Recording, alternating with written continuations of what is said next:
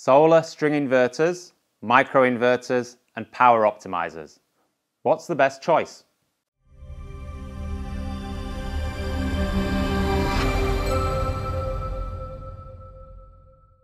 Hi, I'm Finn Peacock, founder of Solar Quotes.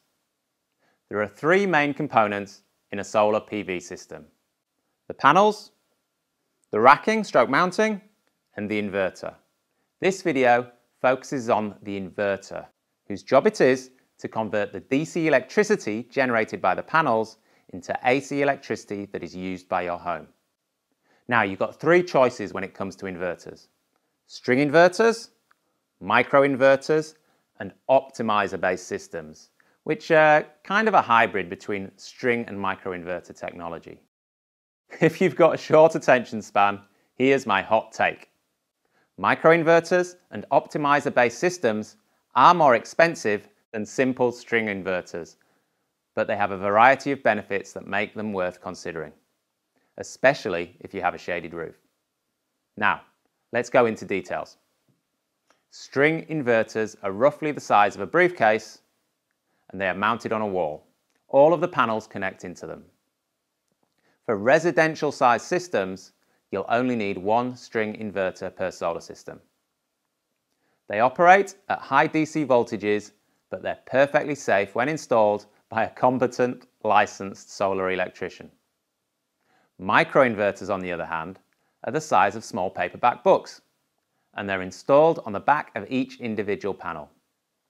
So, for say a 6.6 kilowatt system made up of 20 panels, you'll have 20 microinverters along with them. Microinverters convert DC to AC at the source, meaning there's no high voltage DC running through your roof at any point in time. It's all much safer AC electricity instead. And this is why I use microinverters for my own home. Parts of my home are made out of straw bales, seriously. and I didn't like the idea of high voltage DC running through those straw bales. In Australia, in 2020, as far as I'm concerned, the only game in town when it comes to microinverters is Enphase. One core advantage of microinverters over string inverters is that it makes every panel independent of each other. So when one panel is shaded, it only affects that panel. In a string system, when one panel is shaded, the whole string of panels can go down, kind of like when you stand on a hose. Because microinverters have this panel level optimization, You'll also find that you can get as much as 12% more energy out of a microinverter system over a year compared to a string system. It also means that you can have panels facing every possible direction, whereas with string inverters, you can only choose two, sometimes three directions per inverter.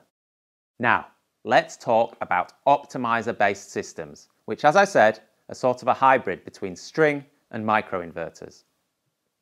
In a system that uses optimizers, you have both the big string inverter on the wall as well as individual optimizers on each panel.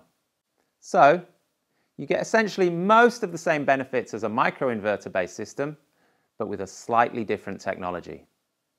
Now, for many years, Solar Edge was the only real optimizer based system on the market. But there have been two big entrants to the market that have been challenging Solar Edge's dominance. They are Tigo optimizers and Maxim integrated panels. Tigo optimizers work with any inverter, whereas with Solar Edge, you have to use a Solar Edge string inverter with the Solar Edge optimizers. And with Tigo, you don't need to optimize the entire system like you do with Solar Edge. So, if only two of your panels are shaded by, say, an aerial, then you only need to put a Tigo optimizer on those two panels. That brings significant cost savings compared to Solar Edge. But bringing even more significant cost savings to the market are Maxim integrated panels.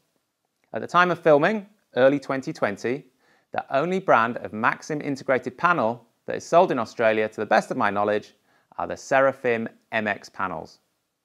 Maxim integrated panels have three tiny chips embedded in the solar panel itself, compared to Tigo or Solar Edge optimizers that are bolted onto the back of the panel. And these Maxim optimizers bring most of the benefits of other optimizers at a fraction of the cost. Now, do you need this panel level optimization, PLO, at all? Or, to rephrase, do you need to spend extra money on panel level optimization? If you have a simple roof with no shading issues, then in my opinion, it's much harder to justify the extra cost of panel level optimization. But it's up to you whether it's worth a few grand. If you have a complicated roof with lots of different faces, with or without shading, then PLO is well worth it. If you have a simple roof with small shading issues, Tigo optimizers will give you the best results for the lowest cost.